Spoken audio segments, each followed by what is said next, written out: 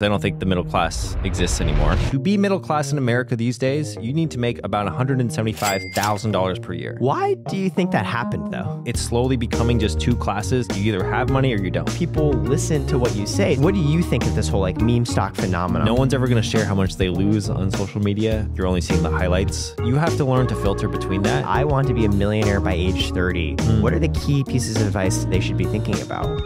Well, The rich get richer while the poor get poorer. The wealth gap in America has exploded, but Humphrey Yang's figured out how to beat it. Humphrey became wealthy by working normal jobs, by saving tons of money through choices like living at home until age 34, so he could build the financial security to take riskier bets, like founding his own company and launching a successful YouTube channel. Today, Humphrey shares how to beat the system and become a millionaire. And if you enjoy the podcast, we're launching a creator newsletter all about stories like these, industry news, and how to improve as a creator. It's free if you sign up in the next 90 days via the link in description below. Humphrey Yang, thank you so much for making time to coming here onto the podcast. yes, thank you for having me, Eric. Always Yeah. good to see you Thank in you. LA thank you. your beautiful house. I very much appreciate that. Humphrey, do you ever sit down when you wake up right out of bed in the morning? Do you look at yourself in the mirror and say, This is the face of the man that is more trusted by Gen Z than Warren Buffett for financial advice. no, I never do that. Because I But- would. I feel pretty good about myself. And yet, that's true with you. You know, that was a really interesting article when it came out, and I think it was a really great headline. Maybe Gen Z doesn't even know who Warren Buffett is, so that's a possible reason. But I'm trying to remain remain humble about it. But uh, I would still definitely trust Warren Buffett for investing advice over me. Why do you think that happened, though? I'm not sure. I think that sometimes, you know, you get a lot of press just because you are on the internet. It's possible that maybe the majority of Gen Z just saw me more times on TikTok in from years 2020 to 2023 and they're like, "Oh, Humphrey." You know, it's kind of like I don't know. It's like if you see someone so many times, you just get familiar with their face. But I think it kind of goes to like a lot of how money investing has changed over the past few years, right? Like Mm. Warren is well known because he's a billionaire Yeah. who's invested in so many companies. People follow his advice on how to invest in the markets. Sure. You have millions of followers on social media where you've talked about, hey, you saved $100,000 by age 26, that you're a millionaire, Mhm. but you lived with your parents until you were age 34. Weirdly, for this newer generation, say 25 and younger, you're the first person that they see.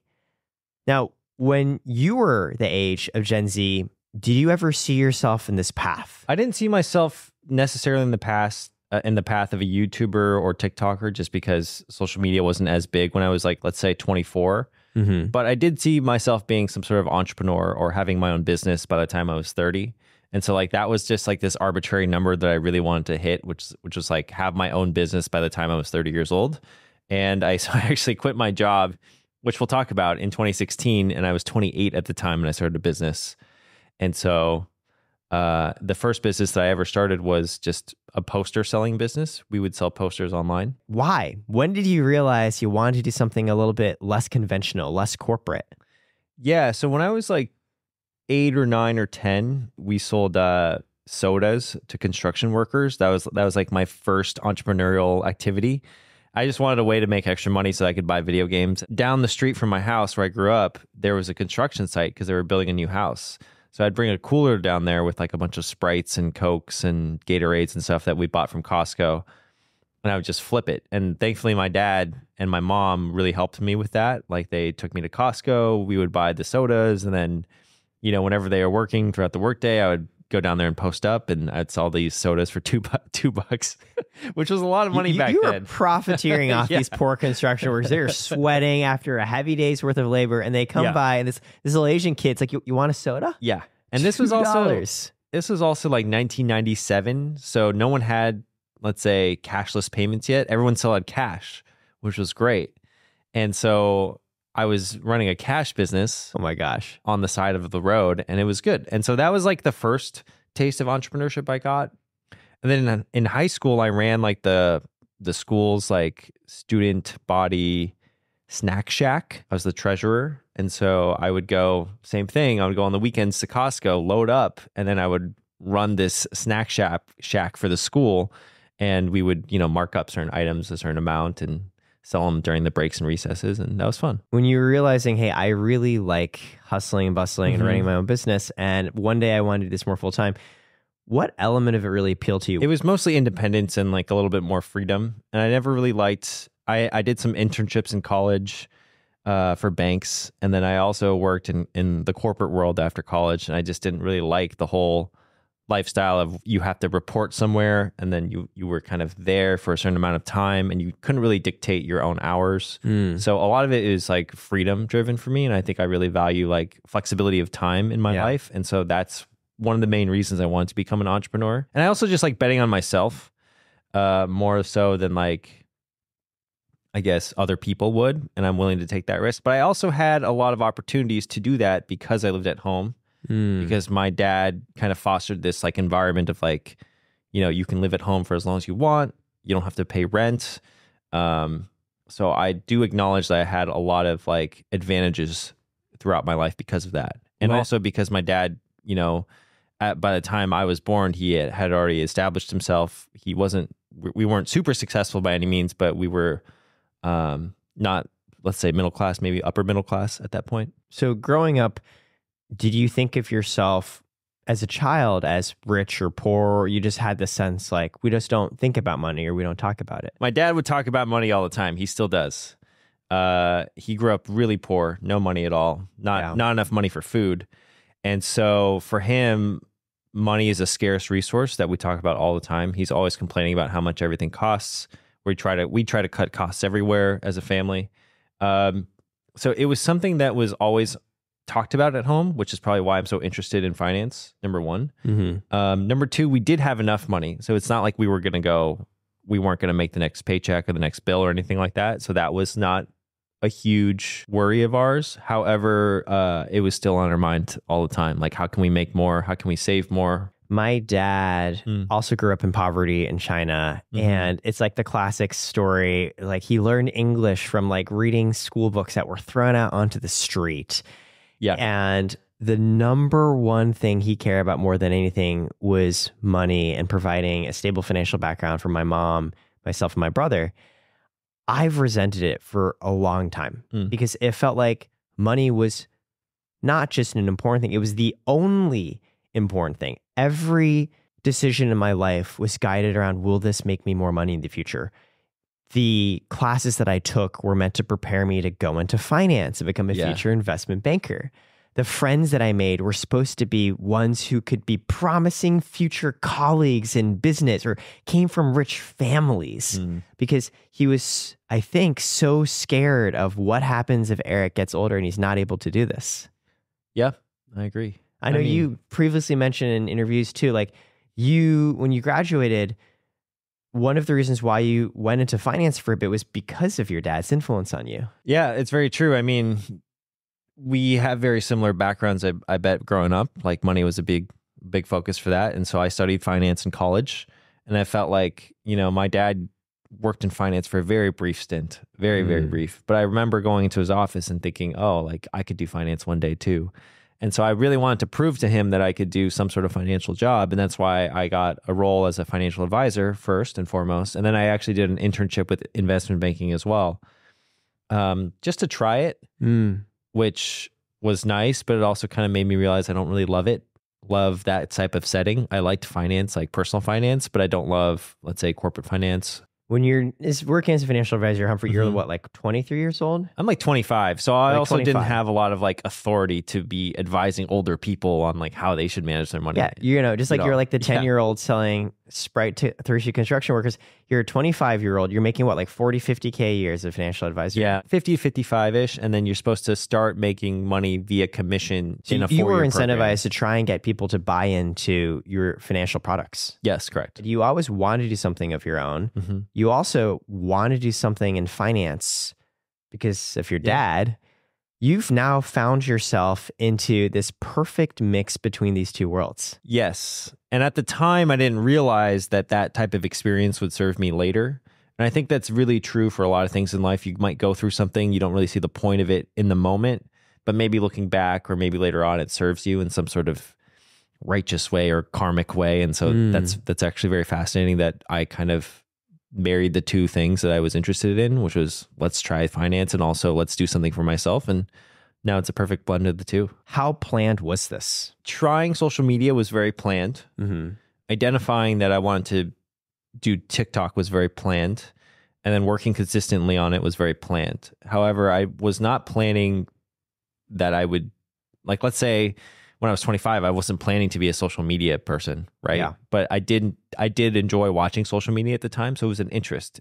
So it's more just like where my interests kind of aligned and then where I thought that I could fit into the market, I suppose. Now, as a full time financial creator, Mhm. how much are you worth? Hi there. If you're enjoying the podcast and want to hear more creator stories like these, or you're a creator looking to level up and improve, or you just want to track everything happening in the news that affects you, like is TikTok being banned or not, I'm launching a newsletter that's all about creators and free for the next 90 days if you sign up via link below. Now back to the podcast. Now, as a full time financial creator, Mhm. how much are you worth? So I think right before I was a financial creator, I was probably worth right under a million net worth. That's and great. that's with investments, right? Because I had been investing for a while, as well as the job that I worked at was a tech job where I was making quite a good salary and I was saving it all because I was living at home. So this was like compounding. So I was right under that. And then now that I'm a financial creator, uh, you know, I've probably like doubled that, maybe a little bit more. Yeah. How does it feel knowing that half the people you meet are going to be thinking, how much does Humphrey make? How much is Oh. Humphrey worth? I don't even know how many people would think that. Do people, you think that's like the first You're a thing? that- financial creator. Like the number one thing financial creators Yeah. always talk about is here's how I made a hundred thousand. Here's how I True. made a million. Here's how I'm worth five million. Because funnily enough, you're in a position where, you know, maybe as a 25 year old as a financial advisor, you don't have that much authority guiding Mhm, people in financial mhm. decisions. Now you have more authority than Warren Buffett. People do look to you as to what to do, whether they know it or not. They're thinking through how should I know he's good at what he does? Yeah, and I guess you could say mo- money is one of the proof points that you could look at as a, Yeah. for a financial creator. It's also a very intimate thing to be asking about tradition. I would never ask anybody else how much are you worth. right, right. But weirdly, I feel comfortable asking you. I am mostly transparent with it. Yeah, and I also made a video last year on how much I've made throughout my entire YouTube career hmm. And how much in AdSense we made last year, which was right over three hundred thousand dollars, which Wow. was crazy. Just AdSense alone, right? You're in an industry where you're evaluated off of not just potentially how much Mm. you're worth, but also like views, how many followers, how many likes. Is this something that's changed how you think about yourself, or you're more like, mm, actually, it doesn't really matter? Yeah, obviously, I would be lying if I said that the views don't impact my personality, not my personality, but my confidence in some sort of way. Like, it's nice to know that you're being validated on social platforms by the type of uh, content you create that's educational and valuable. Um, and so it's definitely given me a, a lot of confidence, I would say, in the past three to four years. It's like knowing that, okay, especially on YouTube where like success is gauged by a number of views, it's like, okay, like this guy's got something going on. He's he's doing something right. And so yeah, I try not to get attached to the numbers, but Mhm. it's very human nature to avoid them, right? Like it's almost human nature that you want to look at the numbers and say, okay, look how many views I got. You know, this is great. But it's probably bad for your mental health to always be obsessed with the numbers for sure. Do you remember the first time you looked at your views and how much you're making from social media, and you're like, I can do this full time? Yeah, I do. It was November 2020. Uh, I had been doing TikTok for almost a full year at that time, a video every day on TikTok. And that had Wow. gotten me to like about a million How long did you do a video a day for? 265 straight days. That's insane. on TikTok. But it was also pandemic, so it was a lot easier to make a video a day. But I was also new at video creation. So like making a video a day It's work. It's work and it was like coming up with an idea every day was tough. And so um, but right in, in November 2020, my YouTube channel started to make about a thousand dollars a month on AdSense. Mm. And plus the TikTok revenue that I was getting from like a brand deal here and there, I was like, okay, I can probably make this my full-time job if I double down. And so that's what I did hmm but then I just kept going. And my goal at the end of 2020 was to get 10,000 followers, which was really funny because I wrote that goal in 2019. I was like, I want 10,000 followers Mm. on TikTok or like a thousand YouTube subscribers was my other goal in 2020. And uh, it just shows you like if you work at something every single day and you get better a little bit every day, it'll, I think results will come. You've also talked about on that mention Mhm. of goals, like you did save hundred thousand dollars by what was it, like age twenty six Yeah. or something. Yeah.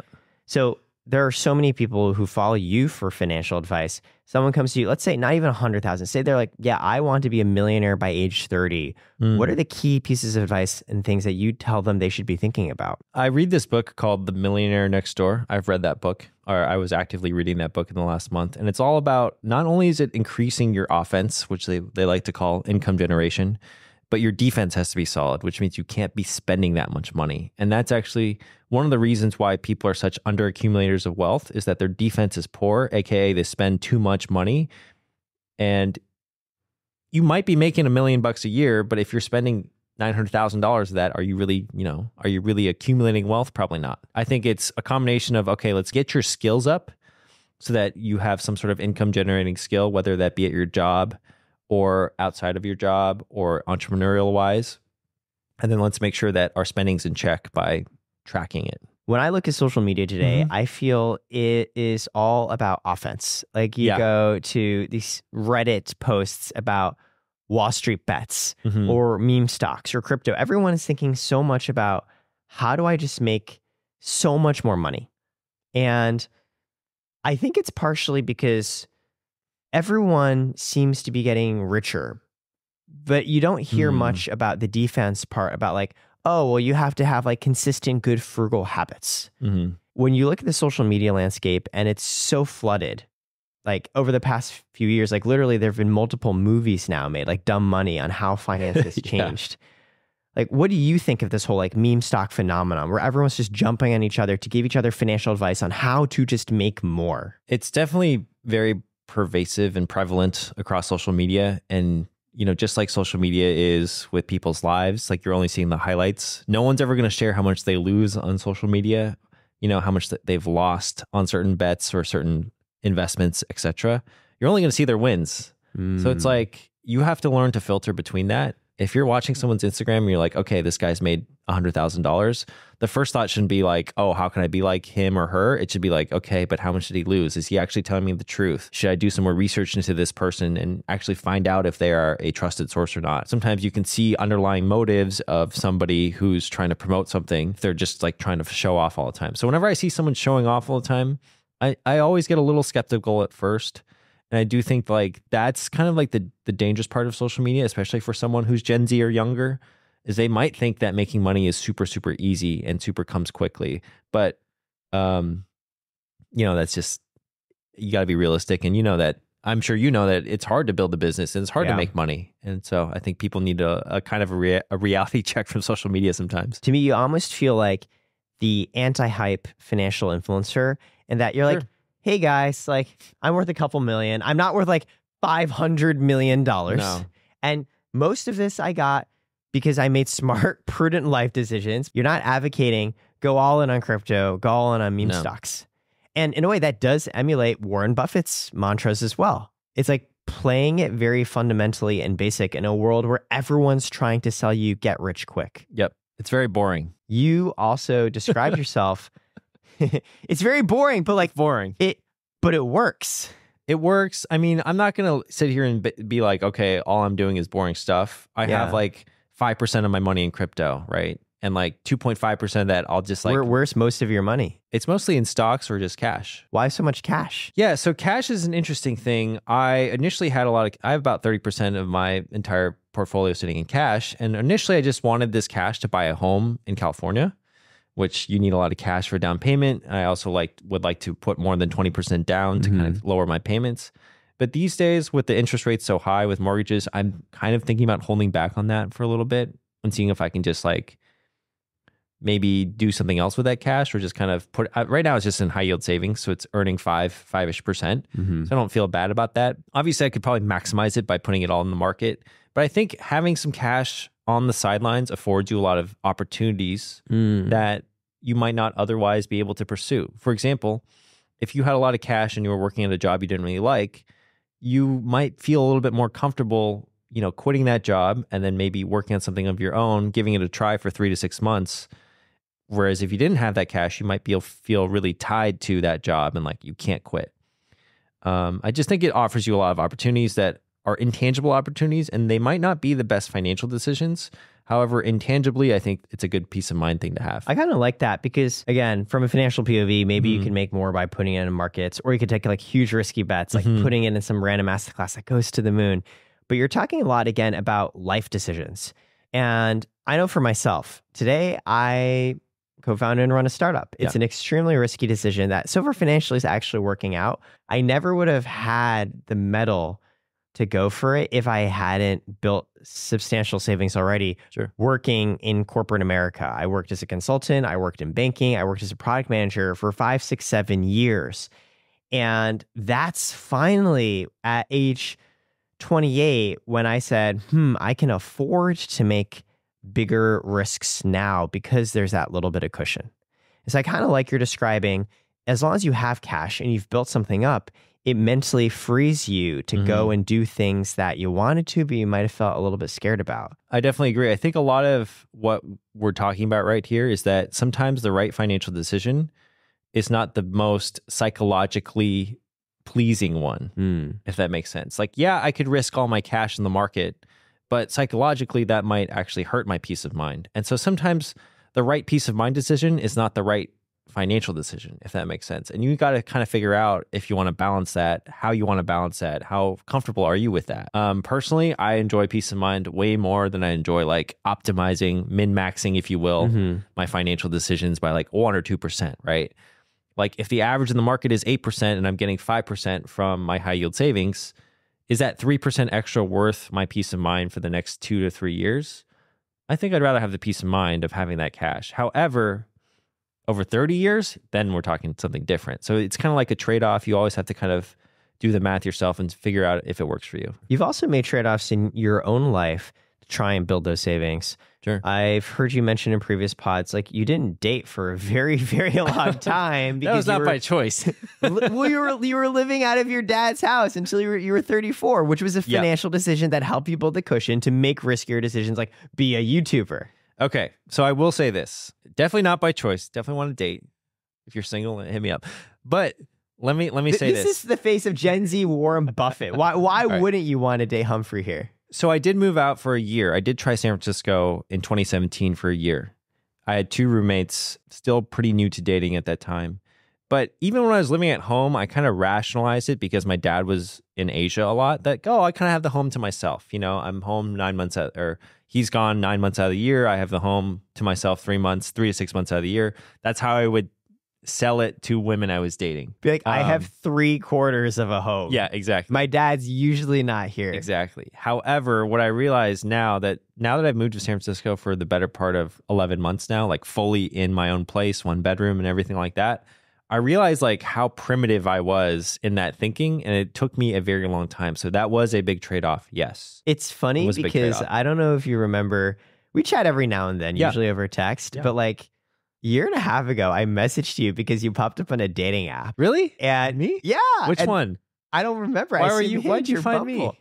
What I messaged you, I was like, we can literally pull up the receipts. I will. We'll probably post Oh, a screenshot God. and blur it. Please don't. One of my friends, my classmates from Harvard, is like, Uh, "Hey, do you know Humphrey? oh, Is he single?" yeah. So I don't know what you're talking about. You're a hot commodity to where other people are messaging me about you. Well, thank you. But you made keep a sending keep sending them I, I to me. will. Uh, Yeah, but, you know, of course, you made a conscious decision Yeah. though to prioritize the financial stability so that now you can live a little. true. Very true. Yeah. Because of the nature of what you do, they might be thinking about that more. So when you're meeting people, also even in a romantic context, like, do you tell them like I'm a financial creator? I will tell them I'm a creator, and if they ask me what I make on uh, videos on or content on, I say finance. But no one really knows how much th- that pays. I, I get a lot of ranging like opinions. Some people think it pays 100k a year. Some people think it pays less. Some people think it pays more. It just really depends on who you're talking to. And I think as long as like you're not like I don't want to send the wrong signal with like the first date. Like I'm not going to take you to like a two star Michelin restaurant, you know what I mean, on your first date. But I want to set reasonable expectations, but still am able to provide for the dates and also take them on nice experiences. Um, but don't think that you're going to get like, uh, you know, floor seats to the Golden State Warriors on our first date. I don't have that much money, you, you know, or I don't want to tell But them do I have that you- much money. I don't know.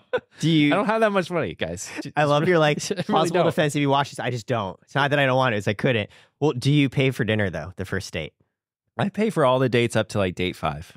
after date five, Then maybe we we could you start splitting it. they could buy an ice cream.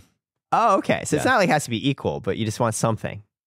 I would prefer to pay for most of the dates, 75, 80% Yeah. of the dates. Yeah. Oh, why is Yeah. that? I don't know. I just think it's the right thing to do for as as a Do, male. do you see that? A gentleman, ladies, a gentleman. Do you think of yourself like now you've built up this financial cushion, right? Mhm. You've already shared your net worth is in the millions.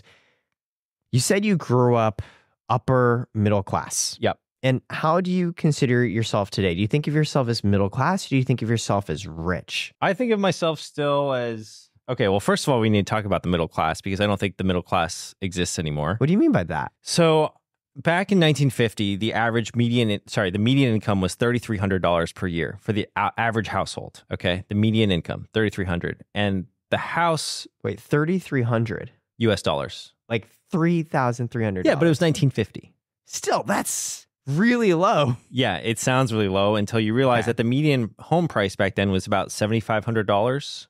Only a little bit more than double. Right. So it would take you two years of your wages to buy a home. Mm-hmm. These days, the median income, household income, is seventy thousand dollars or thereabouts, and the Right. median house, which is four hundred thirty thousand. Oh. By the way, that's not even the median house in California. That's the median house in the United States is four hundred thirty thousand. That's like six and a half years of wages. Fucked up. That is messed up. And the funny, the, the worst thing is, is that I just watched this this video the other day that to be middle class in America these days, you need to make about one hundred and seventy five thousand dollars per year, and not many people make one hundred and seventy five thousand dollars per year, even as a combined household. Wow. Yes. So I don't think the middle class exists anymore. I think it's slowly becoming just two classes. It's like you either have money or you don't. And you know, there a lot of people will always pander to, okay, this is what we need to do to the, for the a lot of politicians will say this is what we Mhm. need to do to fix the middle class. But until they really fix this issue of like prices spiraling out of control, not keeping up with wages, then I don't really think that we have a middle class anymore. Why do you think this chasm has emerged? Like, I remember reading, there's this economist out there named Thomas Piketty, and he put out Mhm. this book. I've never actually read it, but I've read enough of the Wikipedia summary to tell you his whole point is returns on capital exceed returns on labor. And all that mm-hmm. means is Yep. someone who has invested and bought an asset, for example, a house, the rent they get from utilizing that asset exceeds how much money people get from literally working. Correct. So, in my mind, that means if you're fortunate enough to already have some capital, to have some assets, the returns you get from deploying it outpace people who don't have it, who are just working and trying to get there. And so, over time, the returns end up creating this gap where capital owners just have more and more and more Correct. that is a potential cause for what we talked about before. Everyone on social media is aggressive. Go diamond hands and put all of your money Yeah. into Shiba Inu coins because Mhm. that's going to go to the moon. Because there's this unconscious realization like, I need to also own things to try and bridge that gap. When meme stock happened, for example, with GameStop, is this something that you participated in? Did you buy any GameStop stock? Oh yeah. I mean, so what's interesting is is that I bought GameStop stock. Say that four times. I know. Wow. Tongue twister. in November of 2019. And that's because one of my friends who's a stock trader, he always just get trust me, you don't want a friend that's a stock trader. He'll always I mean, tell kind, you kind of sounds amazing to have a friend who's a stock trader. He got you in into GameStop in True. 2019. but he'll always send me a pick Okay. I get Oh, a Google chat almost every morning. What's his record? Like, if you did, if you bought all of his picks, would you be up or down? No idea. I'm probably sure you would be down. Sorry, Andrew. But what what what's interesting was the one pick that he gave me that he was quite bullish on was GameStop in November of 2019. So I bought, you know, like 500,000 shares. It was 12 bucks. It was 12 bucks a share, right? So I bought like $5,000 worth of it. Sorry, 5 5,000 divided by 12. What's that? 500 shares? Okay. Ish. So you bought five thousand dollars worth of GameStop in November In 2019. 2019 and I also bought one call option Wow. which was great. And so I ended up making like 60 grand on GameStop when it like went up. But Here's the thing, Andrew. I've lost a lot of money since because of the random stock picks I might get. So that's where I want to be. I'd rather be just boring and conservative because it's not volatile. It's not very emotional. It's not going to go up and down like crazy. I just want something boring that consistently kind of makes you return over time. And I think that's the best way to invest is just to forget your investment, like investment brokerage password that's what Morgan Housel says in the Psychology of Money. He's a big proponent on just like forgetting your Mm. password and just like leaving it in. Like you can't look fund. at it. You can't react to the markets too much. Yeah, you don't want to react to the markets. But Yeah. back to your point, I definitely think you do need to play a lot of offense in order to get that capital because capital scales really well. Mm. Capital scales well, code scales really well, and media scales really well. Like this podcast we're doing, we're only doing it one time, but it might be viewed one time. It could be viewed 10,000 times. I hope it's more than one time, Humphrey. Right? I'm going to watch my own podcast 10 times at least. Yeah, but it could be viewed a million times. Yeah. So for this return on our time, on your time right now, it could be exponential. Mm-hmm. And that's a concept from Naval Ravikant, which I don't know, you've probably listened Yeah, to him he was before. also the founder of AngelList. Yes. That was actually one of the reasons I started social media. It's like I'm not a coder. I don't have a ton of capital to scale. So maybe I can just try media because media scales well. It's like in a world where the capitalistic mechanisms are falling apart, where the Mhm. rich are literally getting richer because they own things. If you're growing up middle class, which you did, and frankly, I did as well for a long time, how do you bridge the gap? You have to think about how do I get assets? And it can't necessarily be just by working with people. You, in addition to doing that and building savings and being frugal, you have to find your own leverage, as you said, through code or capital or media. Yeah. I will say that you can still make a lot of money in a corporate world, right? Mm, You can okay. still rise through the ranks and you can also job hop in order to get better titles. Yeah, that's the best way to get pay raises is by leaving and going to another company. Yeah. So actually, uh, your rich BFF, I don't know if she was on your podcast. She was, yes. Did she say that there was a Forbes study where if you switch jobs, you actually make 50% more pay over the course of 10 years? So the the Forbes study is actually underrepresenting that. You actually that's based on a 10% raise every time you switch jobs every 2 years. But if I'm sure you know in technology or in some of these hot sectors, you can get more like a 15 or 20% raise every 2 years. How many times did you switch jobs before you became a YouTuber? Four Four, times. And so you started off, I know, initially doing customer support at Kabam, a gaming company. Mhm. How much were you making then? $40,000 a year. Forty thousand. Then Yeah. you did financial advisor. Said 50,000 a year. Yeah, more like fifty thousand with commission potentially higher. Right. After that, you went and briefly worked an investment banking Mhm. internship, but I don't know if we can really count that as a job. I won't count that. Then you went to Machine Zone. Yep. Which became a unicorn valued gaming company that Yep. then later actually dropped in valuation and sold for less than the options were probably priced at. How much were you making there? Yeah. So when I first went to Machine Zone, my friend told me about it. I was, you know, I probably was making 50, 55K at the financial advisory Mhm. firm. Uh, they had a job for me that was like 17 or 18 bucks an hour. It was a QA Oh, job. So. I actually took a pay cut to go there. But I knew it was a good opportunity because it was Y Combinator backed. And back then, it was Y Combinator class of like 2009 or 2010 really? Yeah. which was like the same class as like Dropbox and some of these like and Stripe. And so it was like a very high quality company. And so I took a pay cut knowing that it was a better it was a better company. I was probably within the first 100 employees. And within that year of joining, I'd say 4 or 5 months later they had a role open up which was like monetization monetization analyst if you will because they were doing they started a live operations team which just basically meant looking at real-time data and figure out what players wanted within this mobile video game and selling them packages in-game packages So it's like I'm playing this app where I don't know, I'm like staffing my castle to fight against Yeah. other people's castles. And it's live service like, hey, do you want to buy like a bundle of cannons for like 15 real dollar dollars? on the hour every hour we had a Wow. new sale and what was interesting was once they turned on this type of monetization like the game just like i don't know 10 or 100x its revenue right and so the the team the company grew from like 100 employees while i was there in year one one my first year there but it was already year five of the company but the next year they had like 400 employees Mm. the year after that they had 2000 employees So right you took a bet on seeing a company that you thought could grow exponentially, starting off in customer service essentially, mm-hmm. 17 $18 an hour. That monetization position, how much was it paying you? I think the start, yeah, the starting was 75K. So immediately, like my salary, like doubled within the same organization, which was nice, but it's a completely different role. But that's also because I had somewhat of a background in gaming already. Yeah. And it's because I also had a finance degree. So it definitely helped a little bit. So that role opened up, which was fortuitous, right? And then within three to six months, they raised me to 85K a year. So an extra 10K.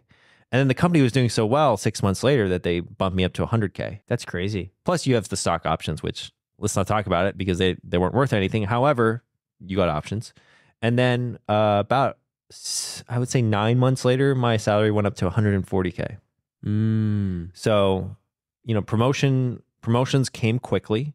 And so within that certain job, I didn't have a need to switch jobs just because was I was getting startup. It was yeah, growing so fast. it was growing so fast.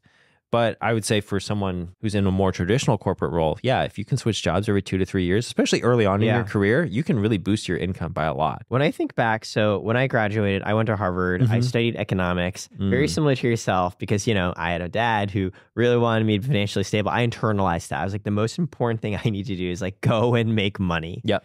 And I interned in my junior year at Blackstone.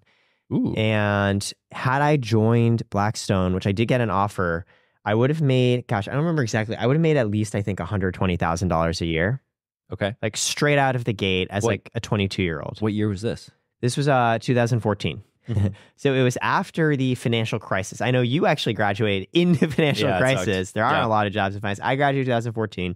So yeah, right off the bat, I could have been making like 120k plus. I actually really didn't like it. I ended up reneging on my offer and I took a job at McKinsey instead of a consulting firm where the salary was lower. It was around 70, 75,000. What happened was I spent about a couple years at McKinsey and then I went to Facebook. I went to Meta Mm. and became an early product manager there. My salary immediately jumped base from like 70K to like 100K. Mm. Nice. And there's also like equity options too that I think restricted stock units, which I think were worth like 50K. So I basically jumped from, I don't know, like 75K to like 150. 150, although the 50K split over four years, more like, you know, like 110, 115. And then essentially every quarter, every half, you could potentially get promoted. So then I was promoted. My salary jumped again. I think my new base was like 150K or My God. something. And had I stayed longer, could have jumped to 200. And that's when I decided, similarly to I know what you did after Machine Zone, I was like, let's go and try and do a startup company thingamajig instead. Basically, my salary dropped Yeah. So like, I think the first, well, initially my co founder and I weren't like really paying ourselves at all. But the first salary I think we paid, I think it was like 70,000. So I Mhm. basically took a giant step back. in. Yeah. What about for yourself? I know you started a company after Machine Zone. Like, what was the context behind it? Why did you do it? Well, b- besides the fact I just wanted to be an entrepreneur and start my own business before the age of 30, that Yeah. was that was the main reason. There why, wasn't why maps? You sold posters and maps. uh wasn't my idea. Mm. Uh, a friend of mine, a friend of a friend of mine came to me and was like, "Hey, they're doing these maps in Europe. We should do the same thing in the United States." And I was so hungry and desperate for some sort of idea to work on at the time that I was like, "Let's do it." wow. And you so- were so ready. You're like, I need to do something. I had no ideas though. Huh. In hindsight, maybe I should have just done YouTube from the start, but I'm glad that I did the the maps business because I actually grew an Instagram from the maps business. And so not many people know this, but I had a meme account first, right? I was just messing around. I had a I have a friend of mine from my same area. He was running one of the a bigger meme accounts Mhm. um, just on the internet. He was a funny guy. So he had a you know he had a meme account called Gucci Game Boy. Gucci game. Yeah, it was a, it was a really funny meme account, and so I was like, I saw Matt doing this. I was like, oh, I want to do the same thing. So I made a meme account first. About, about like maps? About what? No, just like I just create memes for fun. Like I Like, what create sorts like of uh, memes? conversation memes were really good. Okay. Like uh, like I had this one. There's this one stock photo of like this girl and a guy on a date. The guy asked the girl, "Your profile says that you like finishing other people's sentences." And she says yes. And he's like, Well, great. I just finished a sentence for manslaughter. And I, it was Uh, funny. uh, it's kind of a dark joke, but it did it did well. So I made a lot of those those memes. And so I grew an Instagram page in 2016 or 10, 2017 to 10,000 followers. And this is like outside your company. You're just like Yes. running a meme This is just outside the company. on the side for my- fun. Yeah. My goal with the meme page was to eventually just like do influencer ads for my own company on the meme page. This is the big brain play. Yes. And so I knew all the memers too because they knew me as the smaller memer guy. And so I would actually, uh, the way that we scaled that first business was buying influencer ads with meme pages in 2017 and 2018. Wow. And we had one posted by Men's Humor, did really well. Mhm. This guy named Head Steve posted us once for a lot of money, but actually the first one he did for free, which was really nice. Nice. But um, we made we made not, money. not not much of a shit at actually. It's like polite, well-natured Steve. polite Steve. But yeah, so that's that's kind of how I did it. But I also took a big pay cut. I went from Mhm. one hundred forty thousand dollars per year to basically pay myself nothing. And in the first year, I think I paid myself thirty thousand dollars. And but I was living at home, so my costs were still up. Wait, but like, how do you make the context of an extremely risky startup decision when you're talking a lot about you got to play defense, like you got to build up savings, you want to be Mm. financially responsible, and you're like, and that's why I took a pay cut from one hundred forty thousand dollars to nothing. yeah, I guess what I viewed was like I could get bigger offense down the road if Mm. if I worked on this business and it was successful. Um, and if not, I have a huge learning lesson. I feel like if you're learning things consistently all the time, your offense, your offensive potential grows. Uh, I was still playing heavy defense. I was not making, or I was not spending that much money. Yeah, I was you, you at had home, savings. And I had savings. Yeah. I kind of makes a lot of sense to me. You could take the risky decision because you'd been defensive before. Yep. Mm. And so, how did that business go? So that business was interesting. We did probably like 500k in revenue the first year, Oh, that's just a, on that's a influencer lot. ads. Five hundred k. That's like multiple six figures. Yeah. Yeah. Uh, the profit margin was about 15%. So we didn't make that much money. Okay. What's that? Like 75K? Yeah, seventy five k. Um, and then th- that's why I paid myself 30K. My other sense. partner got some. And then the next year did like 840K revenue, Mm. similar profit margins, but 15, 20%. And then the last final year was 2019. I think it did, it was on pace. We did about 650 or 700 or so. Very cool. I think in total it was probably like 1.8 million, 500, 800. Yeah. About those 1.8 numbers 1.8 honestly million. are better than like eighty five percent of what I hear on Shark Tank. Well, we got really lucky, and yeah, I think most businesses aren't profitable after three years. Yeah. so it, it and not nice. to mention your secret meme account led to Yeah. the meme influencer networking, which led to Yes. advertisements for the maps and poster business. exactly This is like truly it kind of came together. everything comes together. But also because I had that confidence of growing the meme account, Yeah. I knew that I could grow a social media page. Ah. so at that point in 2019, I was trying a, a bunch of different things, and I was like, okay, I can I can try YouTube. I might not be good at YouTube, but I know I can grow a page if I'm just consistent. That's where the consistency came part Mhm. came uh, a part of it. But I made three YouTube videos in 2019. They went nowhere. what were they about? The first one was an intro. The second one was Wait, what, what's an intro video? Just like, hey, I'm Humphrey. Come watch Hey, my yeah, channel. why why I'm starting the channel. Oh, okay, so uh, no actual content other than I'm Humphrey. and You should watch this. Yeah, yeah, it's still up on the channel if Nice. you want. It's not very good at all. Don't watch it. Uh, and then it was a video where I reviewed someone's finances. They sent me like it's almost like Caleb Hammer pre Yeah. Caleb Hammer. It was someone sent me all of their bank statements, and I just kind of Wait, that Like- sounds like an amazing concept. yeah, it was. It took a lot of work. Yeah, it's a lot of Uh, work. and it takes- to Caleb. Yeah, it and it takes a lot. It takes someone to give you their bank statements Yeah. and credit card statements and want to be audited in that way. Mm. So I did that. So who is this rando who is like, yeah, Humphrey, Uh, here's all my financial information. Like we talked about, money is a very intimate subject. Yeah, I used to go to this cafe a lot in Menlo Park called Cafe Borrone, and it was one of the baristas there, and his name was Joe. He doesn't work there anymore, but he was really nice, and he was trying to improve his own finances, but didn't want to go through the hassle of like tracking his own expenses. So I said, "Listen, for a video, I'll do it for you. I'll tell you where your money is going, how you can save money, and we can get you better." And he was like, "Yeah, I'm down." So he sent me all this stuff, and I did the analysis, and I and I made the video. Um, didn't go anywhere at the time. But like, were the, what was the biggest recommendation for him? I'm, I'm invested Well- in the story of you helping this barista with his finances. I Like, mean, he was living in Newark, which is kind of in Fremont, and he didn't have a car, so he would Uber to work every single day, which cost him thirty bucks a day each.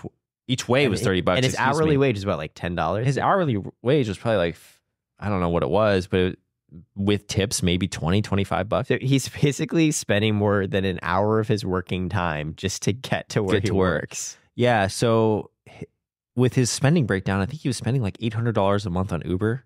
He would get rides back, which was nice because Right. he he worked he lived with someone who worked there Yeah, at the cafe friends, as well. But he was spending eight hundred nine hundred dollars on Uber, and I was like, dude, you can just get a used car if you can. You know, you can get a used car for less than that. You know, car payment on a used car is like 300 300 bucks. You should just do that. It'll save you a bunch of money.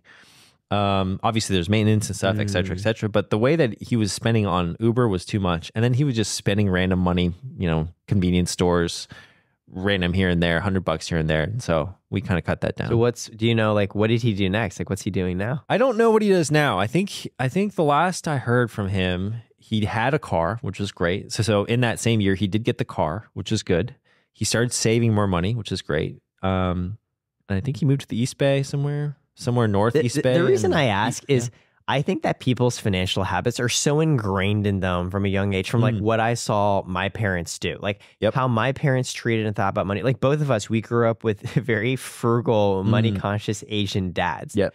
And I think Yeah. that really shaped both of our trajectories around like we're now doing riskier things, but it came from having spent years building up some level of financial cushion and frugality. And I think there are people who grew up in really different circumstances now who are looking and saying the middle class is disappearing. People are rich as f- how do I get there? Desperate for advice. And that's why they watch you. Like the same way you're helping this barista make money, sure. you're trying to help everyone at scale. And I, I think that's actually why they trust you more than Warren Buffett. Warren Buffett is almost the financial wizard for a previous generation where the Mm. middle class existed more, where homes cost maybe twice of your wage, where you could do very well just by investing in stocks. And that's it. Sure. And now I feel like there's so many more things you need to do. Like, hey, if you make $20 an hour, don't Uber at $30 to get to your place of employment.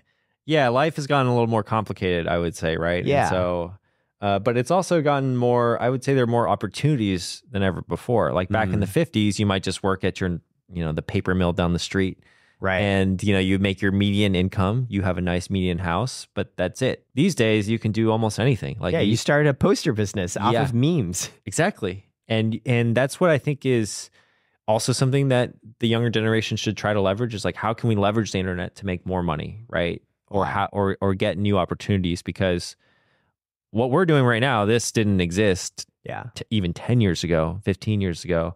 And there's so many different ways to make money online now that I think, you know, if you're a little savvy and you put a little bit of work into it, it it, it, can it can happen. So now, if we were to zoom back in time Mm. to Humphrey out of college, do you think you would make the same decisions or you do something different? Uh, I would probably take an entrepreneurial risk a little bit earlier. I think in general I'm more risk averse, but but, but back then I was even more risk averse. Yeah. So knowing that I was going to live at home for the next I don't know ten years, I probably would have like taken a Oh, risk a lot earlier. It's like a 22 year old Humphrey, you will be living with your dad for the next decade. Yeah, but uh, I probably would have done that sooner. And, and at 22, I was playing a lot of League of Legends. I probably would have cut back on the video. But in a way, it helped you get jobs True. in gaming, Yeah. which ended up.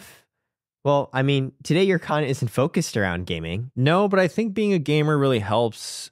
Um, just in general, I think some of the best YouTubers that I know used to be gamers. Right? They're really focused on like the analytics and they treat it like a game and like how can we Mm. grow this? What are our weaknesses? Where can we min max certain things? And like so, that.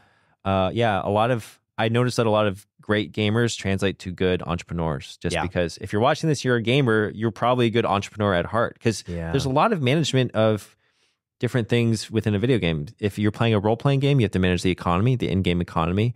You have to manage other people. Oftentimes, you're Mm. talking to other people and like you're trying to you know trade for a certain item. Uh, if you're playing League of Legends, you have to deal with toxic people. Yeah. And like that's like a management trait, right? Like how do you deal with someone yelling at you 24/7 in in the group chat and you're trying to accomplish a mission which is to win the game? I actually noticed I was able to win more League of Legends games as long as I was positive in the chat. So even when something was going wrong, I'd be like, "Don't worry guys, we got this." Even if I didn't myself believe it. You just say it. but I would just type it, and then every time someone did something good, I I reinforce it like, "Oh, great job, great job!" And I won a lot of games just from like chatting. I think more so than actually Wow. playing well. It's You're like, basically like, hey, like my actual skills questionable, but I'll be your spiritual cheerleader. Well, I, my skills were good too. Oh, okay. No, I did- hey, I just want you to know. I did get to diamond back in the day. Okay, this was season two, so I was good. Never like world championship level good, but I did think that I got there because of good like I would say rapport with my teammates. Yeah. Yeah. I mean, this makes so much sense to me also because the competitive nature of gaming Mhm. translates well to life because in gaming, obviously, you want to win. And you have these very Yeah. quantifiable ways of seeing whether you're winning and losing. And in Mhm. life, like, we all want to be happy and rich and successful. And there's like this really weird set of thinking you have to do on like, well, I, I want all these things, but I have to do things here and now that are like disconnected from the eventual outcomes. Like they are connected, but I don't Yeah. like see it immediately. How do I get myself to make a TikTok video every day for over 200 days when I'm starting at day one? Mhm. and it seems so unattainable. And I, I think part of that does come from gaming. You kind of learn to like, no, if I've seen if I try hard and I put in the time, eventually I can get there. That's true. I think that's true of almost anything in life. You know, Mm. if you have a really long term time horizon and you're consistent with it every single day, and you make it easier for yourself, you you make them bite sized chunks instead. Like for example, I'm on a running plan right now. Mm-hmm. I'm I was supposed to run six miles tomorrow. I don't want to run six miles. My friend just texted me. He's like, "Listen, go for a three mile run." Yeah. see how you feel tomorrow. Because like you just got to get over the hump of starting. But the six miles seems really daunting to me. The longest I've ever ran was like last week, and it was seven and a half, and my I was dead. But six miles still seems really long to me. So tomorrow, if I wake up early enough, I'll go for a three mile run. Something. And I'm sure by the time I hit three miles, psychologically, I'll be like, "Ah, I might as well go for the next Right. three. You know what I mean? So sometimes it's just about keeping it bite sized, manageable tasks for you to do every day. And so you mentioned that if you could travel back in time and talk to younger Humphrey, Mm, in addition to saying move out of your parents' house earlier and spend, you know, a little less time gaming, there's value there. yeah. You would have started YouTube earlier. Now, I wish. Yeah. you just told me you made three videos that didn't do well, right? The Mhm. first one was an introduction where you're just like, hi, I'm Humphrey, watch. Yep. The second was reviewing this barista spending financial habits. What was the third video? the retirement guide video that we were talking about earlier. Ah, right. Where you're saying here's the difference between a 401k, an IRA, a Roth, a traditional, a SEP a solo 401k. hmm And then you basically completely swapped over to TikTok, like you said, making a video a day for over 200 days. Mm-hmm. And now, what is the big focus? You've built a following. You make over what two hundred thousand dollars a Mhm. year off of YouTube. Like, Yep. what interests you next? So it's still being relevant on YouTube. I think YouTube is my main focus, Mm. probably for the next three to five, maybe even seven years. I think it's a really great platform. I still think it's like the number one platform to be as a creator. TikTok and Instagram are great. They're great for getting your exposure out there, but I think for building a deep connection, really teaching financial literacy, which is what I want to do in a long format way, is where you're going to get the most value. And so Yeah. I, that's where I view myself on YouTube. I'd like to just just be better, create better videos, get better Mm. every every day. Yeah. When you think back, we've talked a lot about like lessons you've learned. Yeah, yeah, right? have, yeah. You're like, oh, like hard work, persistence, like leveraging your strengths. What are things you feel like you had to unlearn? Things that you do differently now that, like, you know, 22 year old Humphrey might not have realized. Something that I had to unlearn was like learning that unlearn learning that it's okay to go backwards. So Mm. like we do a lot of experiments on our channel and I know that if it's really easy to roll back that experiment, then it's fine. Like you just don't you want to unlearn the fact that like I guess that like you think by choosing one decision that's locking you in forever. Mm. And I used to think that way, like, oh, if I do this type of content, like that's going to lock me into that niche forever or that style forever. But I know that you can always kind of roll it back. So Yeah, I I guess s- that's kind of something I've unlearned. I, I saw on your podcast with Graham Stephan, you did a collaboration with Brian Jung, where Yeah. you said like, I think it was like, here are like the stocks you pick if you like want to play in the metaverse or something. I, I don't think it was a collaboration. I think we Yeah. both made a similar video at the time. You both made a video at the time, but I remember you said something to Graham. You're like, oh, this is not actually representative of like how I actually pick stocks or like the content I want to do. Yeah. Yeah. Yeah. I think at the time, this was November 21, maybe, or Mhm. November 20. Yeah. November 21. I was pretty desperate for views. I just wanted something to pop off. And um, I did what you should probably not do as a YouTuber, which is like chase views, right? It kind of went against the mission of the channel. Now that I know that, I didn't really know what the mission of the channel was back in the day. I've worked a lot on what's my North Star goal, what my mission should be. And so looking back on that, I realized like that that's the type of video that doesn't hit the mission. And I think that I wasn't comfortable with the video. I guess doing I guess I was fine with it doing well at the time. I thought it was great for the YouTube channel to get that ex- that much exposure. Yeah. But I think Yeah, I, am not, it's not my proudest video, but What do you mean by like desperate for views? Like, what was going on there? yeah, I think when you become somebody who makes videos, you just want to blow up as quickly as possible. Like, and when you don't see it for so long, and YouTube is a game of plateaus, right? You you grow, you plateau for a very long until you get the next pop off, the and then you hit, might pop off and it brings you to a new plateau. Yes. And so sometimes when you're in those plateaus, especially early on as a YouTuber, when you're only getting like Yeah. thousand views a video, or maybe even less, 500 views, 100 views a video, you just want to see something positive go your way. Mm. And so I was kind of in that, I was grasping for, you know, anything that I could make that I knew like, okay, this will, this will probably hit, this will hit. Um, but that's not how you build a really long lasting, sustainable brand, right? Mhm. Like you can't just like do whatever's trending all the time. Oh, maybe you can, but I guess in, in the financial world, you want to build Right. you know a good long long term brand. So What What do you think is the Humphrey brand? I asked Paddy Galloway this, what he thought the the Humphrey brand was, and he said, Presumably paid him money for this as well. Yeah. So let's hear the answer. "I love you, Paddy." Uh, Paddy is actually the best, though. Yeah, he said, and I agree with him. It's calm and rational. It's calm, rational, data backed, data driven type of type of stuff. When you come to a video of mine, you feel safe. You feel like you're going to Mm. get something explained to you really clearly. That you're going to know a little bit more about financial literacy or whatever topic is at hand, and you're going to have some sort of actionable item to go off of.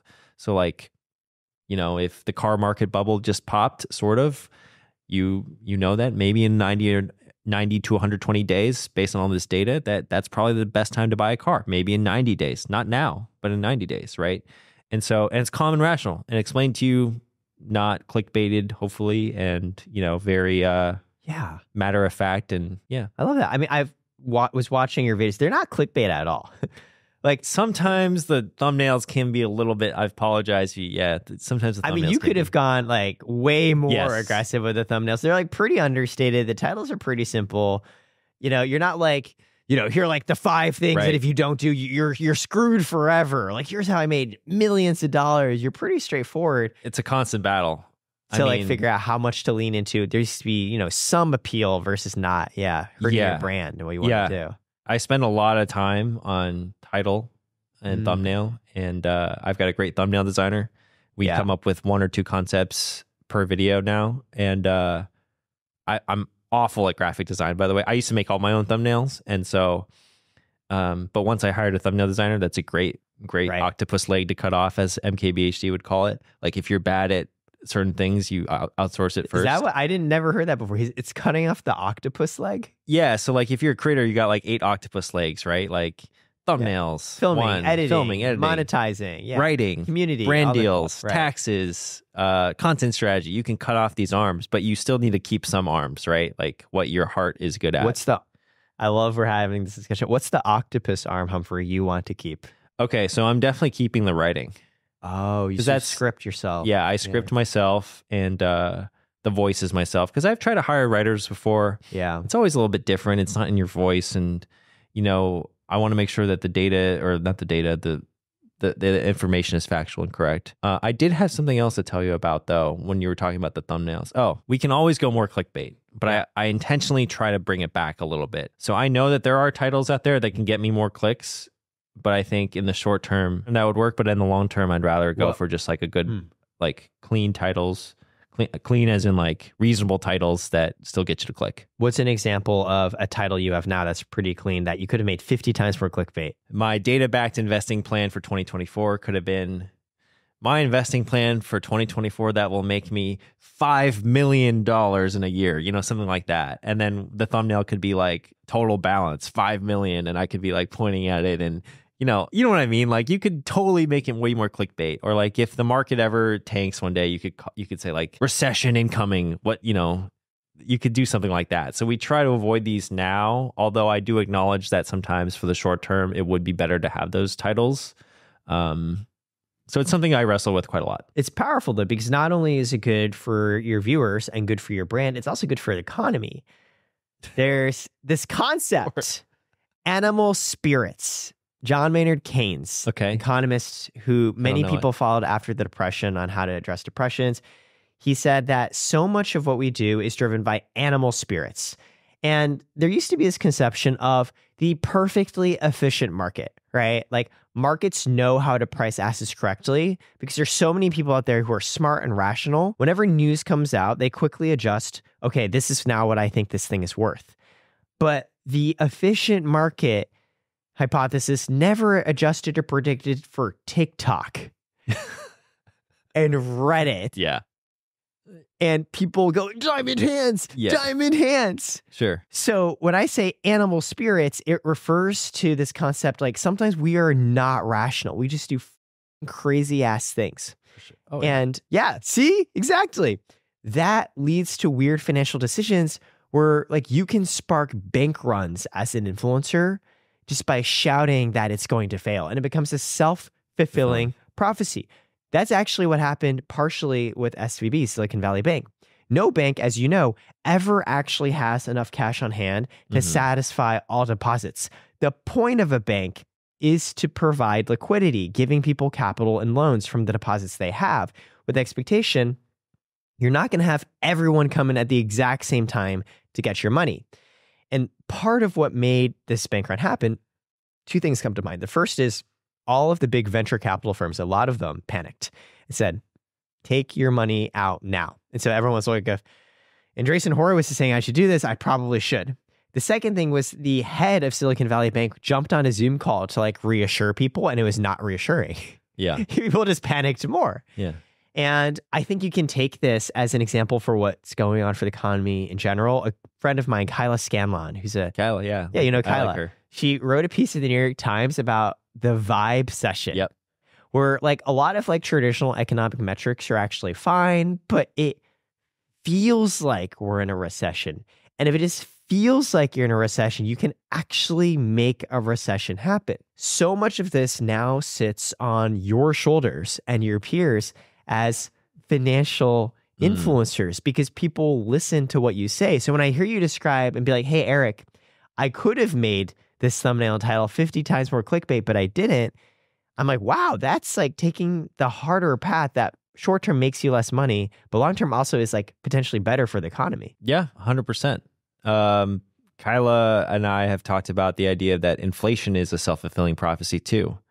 You know, if the narrative in the media is everything's going up in price, then businesses are going to reflect that narrative. They're like, oh, I just heard that on CNN that the prices are going up. Like, I got to make sure that I can cover my wages. So I got to raise my prices too. And then it just becomes this kind of like self fulfilling prophecy. So a lot of uh, mon- monetary policy and economics is really interesting because it's all psychological and it's all narrative based. And it's like what we tell, what we tell people um, kind of drives behavior. So it's really interesting. Very I fair also point. appreciate too, like as a financial influencer, you also have to make a living. And Yeah. there's AdSense, but there's also brand deals and affiliates. God, don't get me started. And how do you decide like what's the line as a financial creator for taking a brand deal from a company? Because on the one hand, look, you're being upfront, this is an advertisement. On the other hand, we've seen over the past few years, FTX, people just get really upset and go after you regardless. It's really hard. I would say, as a financial creator, especially, you always want to use the product or be proud of the product that you are promoting. That's always number one, right? Number two is something I'm wrestling with right now is like, should I still promote products that could potentially lose the viewer money? Mm. For example, if I promoted an ETF, let's just say it's a new ETF company, and they're like, "Hey, Humphrey, we want you to promote this ETF," and you know your investors could could make money in it, or they could lose money in it. Is what's my fiduciary responsibility as a cr- content creator? I don't really have a fiduciary responsibility, but I like to operate that way. Legally, you don't. Legally, I don't, but as a financial advisor, I used to be like a, fid- a fiduciary, so I still like to operate in the viewer's best interest. And so when I consider some brand deals these days, I always think, could this lose the viewer money? And if the answer is yes, we tend to lean a- against it, especially on YouTube. On TikTok and Instagram, I still don't know how I feel. I think it should be blanket across Mm. across all platforms. But the problem is, is if I do that, then sometimes I don't make enough money for that month to cover, let's say, payroll and expenses. Right. Which supports the broader mission of providing Yeah. Americans and citizens of the world with basic financial education. It is, yes. So it is a very difficult line to toe. yeah. And I'm constantly battling with that. Like, obviously, if I was just sponsored by, let's say, I don't know, what's my dream brand? TaylorMade Golf. like please sponsor me or something like that. Most brands like TaylorMade Golf do not want to sponsor a financial creator. It's only financial brands that want to. So it's really tough. It's tough. It's hard to because I, I think about it from the perspective of a creator.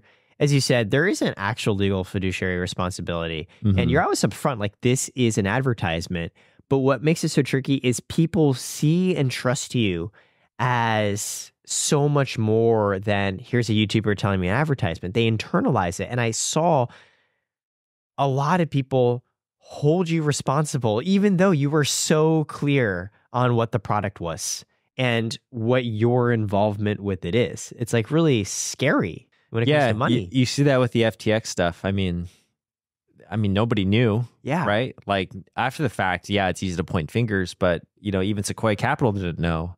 Exactly. know? I've seen the headlines that there's all these lawsuits against celebrities and creators for involvement with FTX. I think these lawsuits are Mm-hmm. like I understand the pain of the people who suffered, but I also don't know if it was on Tom Brady to do the financial due diligence on a company Right. that like Sequoia wasn't even able to spot the flags on. Mm-hmm. Yeah, I agree. Hard line to toe. I agree. It is a hard line to toe, and we're constantly working on it. So if you see an advertisement on my channel, please know it comes from a good place. But yeah, Humphrey's literally just trying to support the channel for its Sure. mission and being thoughtful about what you bring on.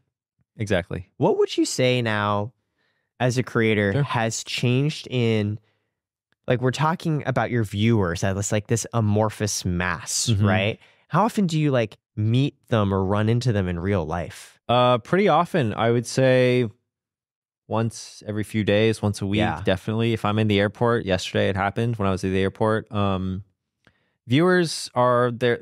You never know when it happens, but it's really nice and and I appreciate it. And then we, I have a Discord community, so I inter- interact with a lot of the fans in there as well. And there's a channel where you can ask me any question. So I usually answer all the questions in there. I, I like the Discord community. So Do you think you'll ever begin to move from just financial advice to life advice? Because I feel like Mm. you're today in this pod, you've shared a lot about your own journey and what you learned. And it's so intimately tied together with the financial because the decisions you make in your life That's affect funny. your finances. Yeah, possibly one day. I mean, I have a lot of creator friends that come to me for life advice, which Really? is funny. Yeah, See, yeah, that's what I'm saying. You know, you said how your brand is like very honest and Mm, understated as mhm. per Paddy. Like, look at you. You look so Ah, I appreciate it. humble. You're like in a simple blazer. You're like, "Well, I'm here to talk about what I do. You know, this Yeah. is how much I make. What when they come to you for life advice, what are they asking usually? They usually, you know, they come to me with very similar things that we've talked about today. Oh, my views are down. Do you think like this Yeah. is this is on brand? Um, should I hire a writer for my content, or what makes my content special? You know, sometimes it's good to have an outside eye, or you know, I'll get calls from other creators like, "Do you think this title and thumbnail are good?" Right. I'm not a YouTube strategist by any means. I've just been trained very well by Paddy Galloway, but I know a little bit about titles and thumbnails, and I love YouTube. So I've seen many titles and thumbnails in my life. Same with Sebi. You know, you know, ask, Ask Sebi. Sebi. Or same with this guy. His name's Nick Barberi. In uh, his name, he goes by SGC Barbarian. He advises a number of different YouTube channels. Yeah. I like talking with people that have been on the platform very long for a very long time, Yeah. especially on YouTube, because they've seen everything. Mm. And so, as YouTube historians, as I like to call them, that's what I call them, they have a general intuition of what titles and thumbnails will do well. right. And I think I've watched enough YouTube where I have that same intuition now, but I didn't have that all the time. But I think, like, you mm-hmm. know, like, you know, when you hear a good title and, a th- and you see the thumb, you're like, oh, that's going to hit. Yeah, it's the experience. Not to mention getting used to the ups and downs. Right. because like you said there was a period when you went on graham's podcast you're like oh my god i like really need views like what do i do what's my brand identity i've also seen you previously say on another podcast like you're meditating you have Oh, journal Yeah. your thoughts are your thoughts i think that's something you've said before I've been meditating for a year straight, wow almost a year straight now, and uh, like 365 straight days, 20 minutes every day in the morning. And I'm supposed to do an afternoon one. It's called um, Vedic meditation or transcendental meditation. It's literally you just sit there for 20 minutes and you don't think about anything and just, well, you try not to think about anything, but whatever comes your way are your thoughts. And it's really kind of grounded me and I really enjoy it. So, what got you started into this and what have been the benefits uh, yeah, a girl got me started into it because it's I was a girl it's always I was a really, girl I was really stressed out about a situation where this girl, she was a little bit avoidant. She would sometimes give me some positive signals that she liked me, and then oftentimes would pull away very quickly. And I had a really anxious time navigating that. Yeah. Like I definitely was more of an anxious attachment type of dater. And so I really valued the validation of hearing text from her or hearing that she wanted to hang out with me. And this whole month was really tough. I was still living at home, and you know, she was like, I had one itis. Like, I love this girl. I didn't like this, love this girl, but I was very into the idea of like dating this girl. And so I was like, man, I can't manage my own anxiety and my own emotions around this situation I can't control. So I need to look elsewhere. And one of my friends' moms, my friend's name is Barrett, and his mom is a meditator. And she trains with a guru named Sadhguru. If she's watching this, Nikki, she's great. And so she she recommended that I try Vedic meditation through one of uh, a friend of a friend of hers. And so I, I did that, and it's been great. Yeah. I have been in similar situations. Anxious and avoidant people typically date each other because when you're perfectly secure Yeah. And you find another secure person, you quickly pair off and you're no longer in the dating pool. So it's primarily anxious and avoidant people. Avoidant people, Humphrey, can't date each other because they're too avoidant. There's two. They just repel. They're like magnets repelling yeah, if other. like someone's playing hard to get and the other person's playing hard to get, it's like, well, f- you too, bye. Yeah. So what usually ends up happening is avoidant people end up with anxious people because Mhm. the anxious people are so afraid, and I've been on the anxious spectrum myself more, that I have to work so hard to get close to get this affection and love. And the avoiding people have been so trained to like, I need to distance myself, it's gonna be Mhm. overwhelming. You feed on each other. Yep. I totally get when someone's avoidant tendencies are just sparking your anxiety. You started in a way, it brought you to a great place because you started meditation because of Mhm. it. I've got to ask though, what happened to the girl? Are you still seeing her? No, no, that was only like we only went on three dates. Uh, she ended up. I don't know. I just we just didn't See, talk after that. He's you've so transcended yeah, the initial I mean, problem that she'll still reach out to me sometimes as a friend, as friendly on friendly terms, and she has That's a boyfriend now, and I think she moved, but you know, right. I, so it all it all works it out. all worked out. Yeah.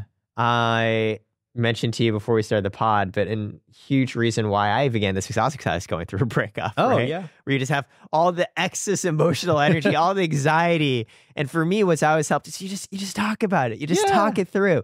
And there's such a funny thing, at least what I've experienced with my guy friends, Okay. where a lot of my guy friends, like, you know, we'll hang out, we'll like get dinner, we'll play video games, right? We'll like go play pickleball. But it's sometimes hard, as opposed to my female friends, we're like, let's just like get together and talk.